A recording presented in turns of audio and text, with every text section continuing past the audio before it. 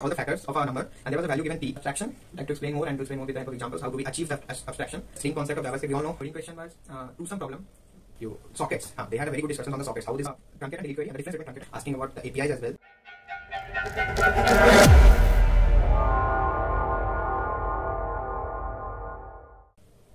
Hey guys welcome back to another video. Hope you all are doing well. So today in this video uh, we are going to talk about me. So let me introduce myself i am keshav. I come from hilsa nalanda bihar. So currently i am a software developer at ibm isl kochi. So to be more specific uh, i am a software developer at the ibm watson orchestrate team. So now do a deep dive on how i have cracked this opportunity and what were the processes involved to be more specific. So this company IBM came it was an on campus event and it came to our college uh, in mid September in 2023 so yeah. And they took the online test coding round on 17th September.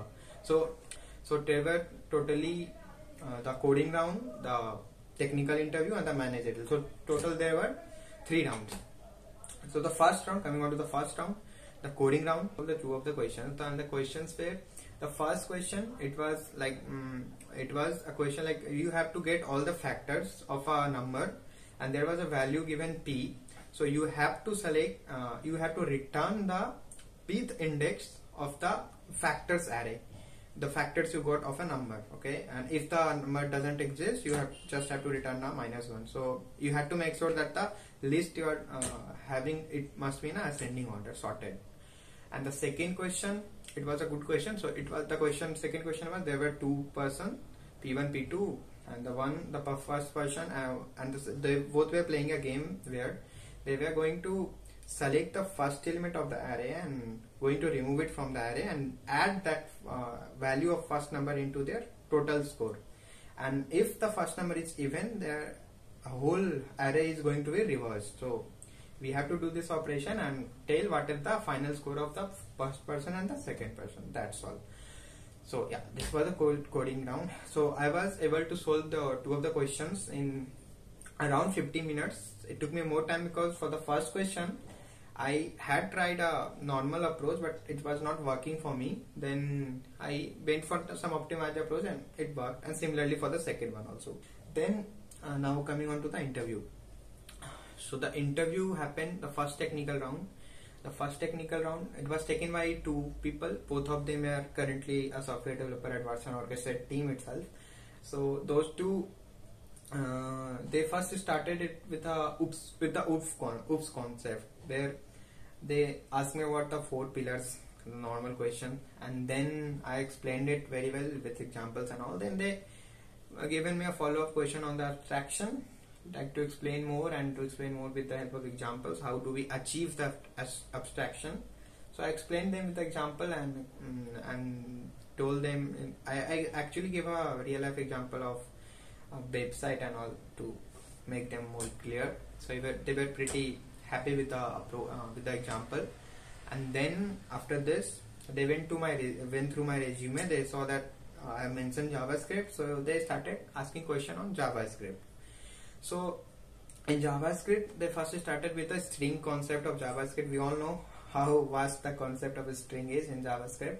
So there were many questions like equal to double equal to triple equal to type questions then concatenation of a string when we add when we subtract when we put double quotes and all uh, then add. These all things you must be knowing if that exists in javascript. So after these all things they just gave me a, to write a function in javascript in their uh, in the chat itself and just to give the output of whatever the question they have given me on, given me on the screen. Then then they after the javascript thing happened they asked me a real life question based on uh, dsa yeah. Uh, real life question based on dsa like um, given a scenario which data structure will, you- will you use? And then they ask me about stack queues priority queues how will you use where, where will you use the data structure and all and about that data structures as well then they went on to ask me a coding question. The coding question was uh, to some problem. Pretty easy question. So that question i already knew the approach but like i first told the naive approach and they asked me to code it in the editor. So i like i sold first i sold the naive approach and sold the output as well. Then they asked me to optimize it. Then i used the hash approach. Then uh, like hash map and then uh, later on they asked me to return the index. So i it, did that part very easily. And they were also quite impressed. Like i was able to code it very easily. So yeah they were impressed. Then uh, then they started asking question on os operating system semaphores mutex and then uh, these things. Uh, you sockets. Huh, they had a very good discussions on the sockets how this socket things is working in the operating systems and then they ask me the networking questions like OSI layers all the layers then the flow. Then they ask me differences between IV, IPv4 IPv6 and then after networking things got over they started me asking the SQL thing yeah SQL queries, uh, truncate and delete query and the difference between truncate and delete in SQL. This was the question related to SQL and then uh, then then the first guy was uh, like over with this question but the other one she asked me uh, again started asking me about JavaScript. So in that she asked me about uh, the uh, pass by reference and pass by function thing in JavaScript. And yeah uh, this was like done. But no no one thing was uh, left like they went, then then they went through my project. And they started asking me like uh, what could have been done in this project to make this approach better related to the backend stuff of my project. Because I already told them that I am good at the backend part of it. Because my SQL was good my uh, my concept related to backend was good. So then they started me asking about the APIs as well. And then yeah that's all that's it i guess yeah. This was done. The interview was done. They were i asked for the feedback as well. They they told me that i really like your confidence and all yeah this was the uh, feedback. And then i uh, then they told me to wait for the second next round.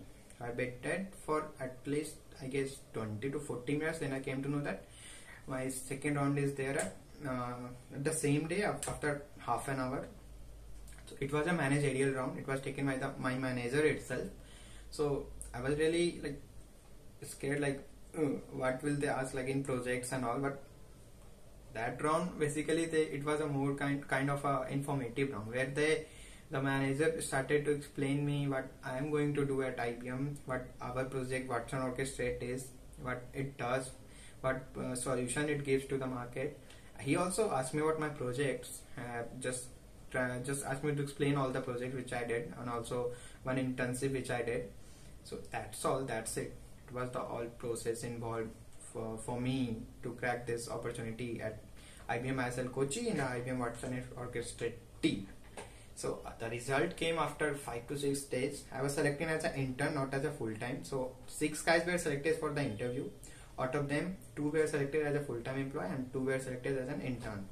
So later on, after my internship, I was converted. I am converted as a full-time employee as well. So for that, I will make a separate videos where I will uh, share the experience of internship at IBM, which I would say is the best thing happened to me till date. So yeah, that's it. That's it. If you ask me about the preparation, so I would say for any on-campus placement as a placement coordinator, since I was a placement coordinator as well, so you should what you should do is you should be like uh, very clear with the DSA concepts. DSA you must have done the Striver set to crack any on, on campus opportunity. The maximum DSA that they are going to ask in the interviews that won't go far from that DSA set. Then uh, for the online rounds, you need to solve more than one question either on the lead LeetCode or if you really want to crack good companies um, that too on, on off campus as well so you should be doing good competitive coding either on Codeforces, CodeChef, any or on LeetCode also. There are many concept contests happening on LeetCode so I also appeared for all of this in my preparations. And then uh, DSA part is done. So you should be very good at JavaScript. And so every interview touch this part JavaScript and SQL this is quite I've seen in uh, almost all the companies they have touched this part. SQL JavaScript uh, this kind of thing. And computer fundamental that is the most important thing. Like this can save you from any kind of situation. Because the interviewer is going to judge you on what you know not, not on the thing that you do- don't know. So they expect you to at least know everything about the computer fundamentals. That is the case. So yeah i think i'm done for this video. If you guys really like my work so please like and subscribe my channel and wait for the next videos we'll meet you in the next videos. Till then bye